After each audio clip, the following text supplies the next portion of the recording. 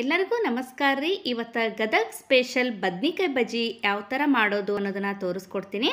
ಭಾಳ ರುಚಿ ಆಗ್ತಾವು, ಎಲ್ಲರೂ ಇಷ್ಟಪಟ್ಟು ತಿಂತಾರ. ಸಾಯಂಕಾಲ ಟೀ ಜೊತೆ ನಾವು ಏನಾದರೂ ತಿನ್ಬೇಕು ಅನ್ನಿಸ್ದಾಗ ಈ ಥರ ನೀವು ಬದ್ನಿಕಾಯಿ ಬಜ್ಜಿ ಮಾಡ್ಕೊಂಡು ತಿಂದ್ರೆ ಎಲ್ಲರೂ ಇಷ್ಟಪಟ್ಟು ಪದೇ ಪದೇ ಕೇಳ್ತಾರ. ಅಷ್ಟು ರುಚಿಯಾಗಿರ್ತಾವೆ ಇವು. ನೋಡಿರಿ ಯಾವ ಥರ ಐತಿ ಒಳಗಡೆ ಅನ್ನೋದನ್ನು ತೋರ್ಸಕತ್ತೀನಿ. ಈಗ ಹೆಂಗೆ ಮಾಡೋದು ನೋಡೋಣ ರೀ ಈಗ ನಾನು ಮಿಕ್ಸರ್ ಜಾರಿಗೆ ಒಂದು ಪೇಸ್ಟ್ ಮಾಡ್ಕೊಂಡ್ರಿ ಹಸಿಮೆಣ್ಸಿನ್ಕಾಯಿ ತೊಗೊಂಡಿನಿ.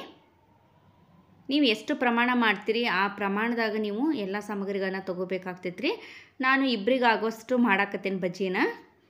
ಈಗ ನಾನು ಮೆಣಸಿನ್ಕಾಯಿ ಹಾಕ್ಕೊಂಡ ನೋಡ್ಬೋದು ನೀವು ಇಲ್ಲಿ ಒಂದು ಐದಾರು ಮೆಣಸಿನ್ಕಾಯಿ ತೊಗೊಂಡೆ ನಾನು. ಕಟ್ ಮಾಡಿ ಹಾಕ್ಕೊಳಕತ್ತೀನಿ. ಭಾಳ ಸಿಂಪಲ್ ಐತ್ರಿ, ಭಾಳ ಈಸಿ ಐತಿ ಮಾಡೋದು. ಅದರ ರುಚಿ ಮಾತ್ರ ಸಖತ್ತಾಗಿರ್ತೈತಿ. ಮೆಣಸಿನ್ಕಾಯಿ ಆದಮೇಲೆ ಕೊತ್ತಂಬರಿ ಸೊಪ್ಪನ್ನ ಚಲೋತ್ನಾಗ ತೊಳೆದು ಒಂದು ಅರ್ಧ ಕಟ್ನಷ್ಟು ಹಾಕ್ಕೊಂಡೆ ನಾನು. ಮತ್ತು ಇದಕ್ಕೆ ಸ್ವಲ್ಪ ರುಚಿಗೆ ತಕ್ಕಷ್ಟು ಉಪ್ಪು. ಭಾಳ ಹಾಕ್ಕೋಬೇಡ್ರಿ, ಸ್ವಲ್ಪ ಆದ್ರೆ ಸಾಕಾಗ್ತೈತಿ. ಹಿಟ್ಟಿಗೆ ಮತ್ತು ಸೇರಿಸ್ಕೊತೇವೆ ಅದಕ್ಕೆ. ಈಗ ನಾನು ಒಂದು ಪೇಸ್ಟ್ ಮಾಡ್ಕೊಂಡು ಬಂದೆ ರೀ ಈಗ ಒಂದು ಬಟ್ಲಿಗೆ ತೆಗೆದಿಟ್ಕೊಂಡೀನಿ. ಈಗ ಮತ್ತೊಂದು ಕೆಲಸ ಅಂದ್ರೆ ಬದ್ನಿಕಾಯಿನೂ ನಾನು ಈ ಥರ ಸಣ್ಣ ನೋಡ್ರಿ, ಈ ಥರ ತೆಳ್ಳಗೆ ಹೆಚ್ಕೊಂಡು ನೀರೊಳಗೆ ಹಾಕಿಟ್ಟೇನೆ. ಕಪ್ಪಗಾಗಬಾರ್ದು ಅಂಥೇಳಿ ನೀವು ಮಾಡೋ ಮುಂದನ ಹೆಚ್ಚಿ ಬಿಡ್ರಿ. ಯಾಕಂದ್ರೆ ಮೊದ್ಲ ಹೆಚ್ಚಿ ಇಟ್ಬಿಟ್ರೆ ಕಪ್ಪಗಾಗ್ಬಿಡ್ತಾವೆ ಬದ್ನಿಕಾಯಿ ಅದಕ್ಕೆ. ಕಡ್ಲಿ ಹಿಟ್ಟನ್ನ ಹಾಕ್ಕೊಳಕತ್ತೀನಿ ನಾ ಬದ್ನಿಕಾಯಿ ಒಂದು ಮೂರ್ನಾಲ್ಕು ತೊಗೊಂಡಿದ್ನಿ. ಈಗ ನೋಡಿರಿ ಕಡ್ಲಿ ಹಿಟ್ಟನ್ನ ನಾನು ಸ್ವಲ್ಪ ತೊಗೊಂಡೀನಿ. ಬದ್ನಿಕಾಯಿ ಒಂದೇ ಸೈಜ್ ಇದ್ರೆ ನೀವು ಒಂದೇ ಸೈಜನ್ನ ತೊಗೊಳ್ರಿ. ನಾನು ಒಂದು ಸಣ್ಣದು, ಒಂದು ದೊಡ್ಡದು ಇತ್ತು. ಹೀಗಾಗಿ ಪೀಸಸ್ಸು ಒಂದು ಸಣ್ಣದು, ದೊಡ್ಡದಾಗ್ಯಾವ. ಈಗ ರುಚಿಗೆ ತಕ್ಕಷ್ಟು ಉಪ್ಪು ಮತ್ತು ಅರಿಶಿನದ ಪೌಡ್ರ್ ಕಡ್ಲಿ ಹಿಟ್ಟೊಳಗೆ ಹಾಕೊಳಕತ್ತೀನಿ ಆಮೇಲೆ ಖಾರದ ಪೌಡ್ರ್ ಹಾಕೊಳಕತ್ತೀನಿ ನೋಡ್ಬೋದು ನೀವು. ಭಾಳ ಹಾಕ್ಕೋಬೇಡ್ರಿ ಯಾಕಂದ್ರೆ ನಾವು ಮೆಣಸಿನ್ಕಾಯಿ ಪೇಸ್ಟ್ನ ಹಾಕ್ಕೊತೀವಿ ಆಮೇಲೆ ಅದಕ್ಕೆ ಸ್ವಲ್ಪ ಆದ್ರೆ ಸಾಕಾಗ್ತೈತಿ. ಇದಕ್ಕೆ ಒಂದು ಸ್ವಲ್ಪ ಅಜ್ವಾನ ಹಾಕ್ಕೊತೀನಿ ಇದನ್ನು ನೀವು ಬೇಕಂದ್ರೆ ಹಾಕ್ಕೋಬೋದು ಇಲ್ಲಾಂದ್ರೆ ಸ್ಕಿಪ್ ಮಾಡ್ಬೋದು ಅಜ್ವಾನನ. ಈಗ ಚಲೋತ್ನಾಗಿ ಎಲ್ಲನೂ ಮಿಕ್ಸ್ ಮಾಡ್ಕೊಂಡಿನಿ. ಸೊ ಸ್ವಲ್ಪ ನೀರು ಹಾಕ್ಕೊಂಡು ಕಲಿಸ್ಕೊಂತ ಹೋಗ್ಬೇಕ್ರಿ. ಯಾವ ಥರ ಅಂದ್ರೆ ಅತಿ ಗಟ್ಟೆನೂ ಇರಬಾರ್ದು, ಅತಿ ನೀರಾಗೂ ಇರಬಾರ್ದು. ಈಗ ಸ್ವ ಸ್ವಲ್ಪ ನೀರು ಹಾಕ್ಕೊಂಡು ಈ ಥರ ಕಲ್ಸ್ಕೊತ ಹೋಗಬೇಕು. ಒಮ್ಗೆ ನೀರು ಹಾಕ್ಕೋಬೇಡ್ರಿ. ಭಾಳ ನೀರು ಹಾಕ್ಕೊಂಡ್ಬಿಟ್ರೆ ನೀರು ನೀರು ಆತಂದ್ರೆ ಚಲೋ ಬರೋಂಗಿಲ್ಲ ಅದಕ್ಕೆ. ನೋಡಿರಿ. ಈಗ ಸ್ವ ಸ್ವಲ್ಪ ನೀರು ಹಾಕ್ಕೊಂಡು ಈ ಥರ ಮಿಕ್ಸ್ ಮಾಡ್ಕೊಳಕತ್ತೀನಿ ನಾನೀಗ. ತೋರಿಸ್ತೆ ನಿಮಗೆ ಯಾವ ಥರ ಆಗೈತಿ ಹಿಟ್ಟು ಅನ್ನೋದನ್ನು ಲಾಸ್ಟಿಗೆ ಕಲಸಾದ್ಮೇಲೆ. ನೋಡಿರಿ ಗಂಟು ಇಲ್ದಂಗೆ ಈ ಥರ ಚಲೋತ್ನಾಗೆ ಮಿಕ್ಸ್ ಮಾಡ್ಕೋಬೇಕು ಮೊದ್ಲು.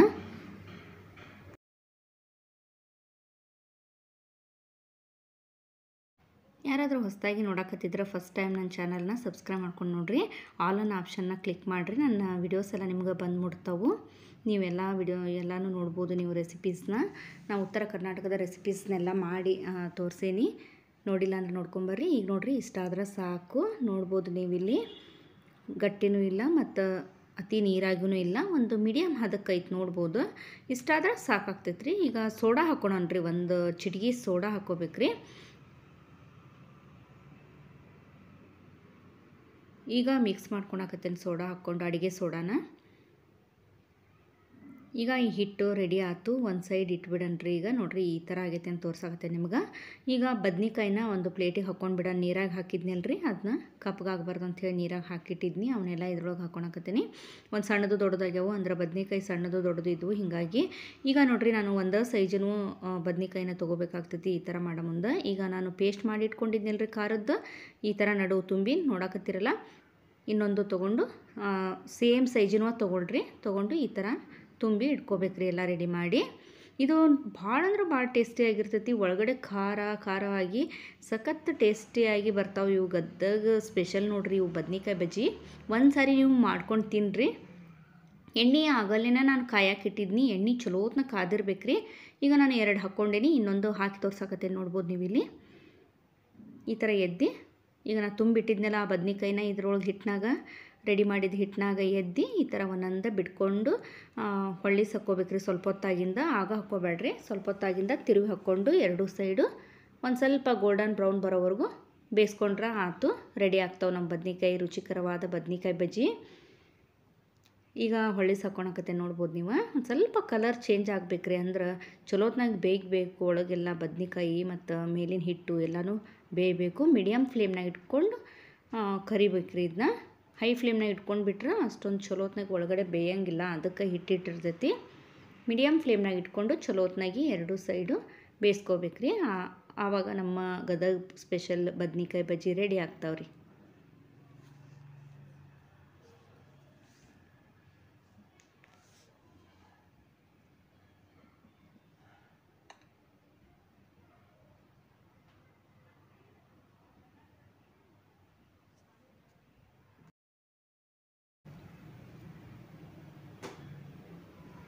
ಈಗ ಮೀಡಿಯಮ್ ಫ್ಲೇಮ್ನಾಗ ಇಟ್ಕೊಂಡಿದ್ದೀನಿ ನಾನು.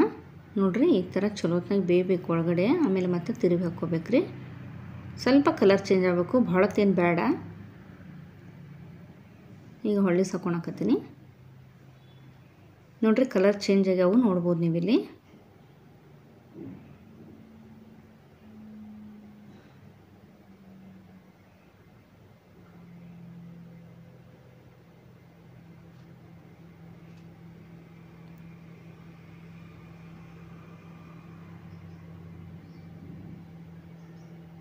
ನೋಡ್ರಿ ಕಲರ್ ಗೋಲ್ಡನ್ ಬ್ರೌನ್ ಬಂತು. ಇಷ್ಟ ಆದ್ರೆ ಸಾಕಾಗ್ತೈತಿ.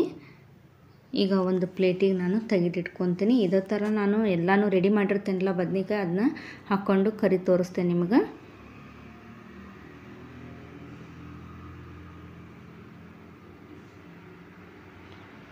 ಈಗ ಪ್ಲೇಟಿಗೆ ತೆಗೆದಿಡಾಕತ್ತೀನಿ ನೋಡ್ಬೋದು ನೀವು.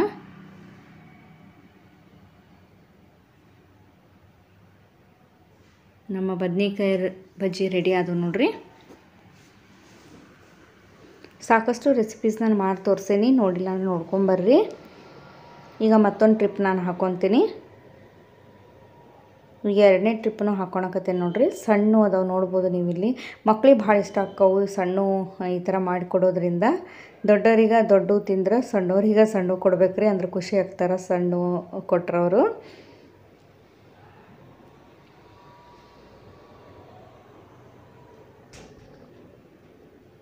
ಇವನು ಸಹಿತ ಸ್ವಲ್ಪ ಹೊತ್ತಾಗಿಂದ ಹೊಳ್ಳಿಸಿ ಹಾಕ್ಕೊಂಡು ಎರಡು ಸೈಡ್ನ ಮೀಡಿಯಮ್ ಫ್ಲೇಮ್ನಾಗ ಇಟ್ಕೊಂಡು ಕರಿಬೇಕ್ರಿ.